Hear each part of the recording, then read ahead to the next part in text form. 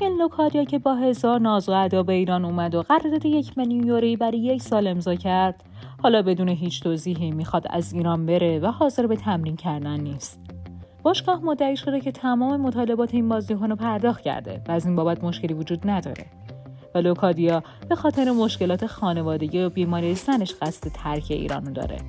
اما وقتی نگاهی به پیج خانم لوکادیا بندازید می‌بینید که خبری از بیماری نیست. این اتفاق توی فاصله 48 ساعت مونده به دربی بی سابق است. اما به هر حال موقعیتی که پرسپولیس و چاره برش میشه. در حال حاضر اونطور که در خبر رسمی باشگاه نوشته شده پاسپورت لوکادیا در اختیار باشگاهه و اون نمی‌تونه تهران رو ترک کنه و باید برای خروج از ایران ربال قانونی خودش رو طی کنه. چیزی که ظاهرا آخرین تیر باشگاه برای نگه داشتن این مهاجم توی ایران بوده طبعا اونها هم تلاش خودشونو خواهند کرد تا اونو هر طور که شده حداقل برای دربی نگه دارن. از طرف اگر این بازیکن قصد نافرمانی داشته باشه نیز به سختی میشه اونو قانع کرد که دست از بهانه برداشته و بی سر سر توی پرسپولیس به کارش ادامه بده.